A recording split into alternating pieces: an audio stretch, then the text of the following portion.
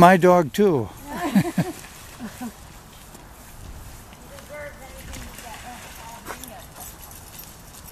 Oh, aren't you gonna be happy to get him home?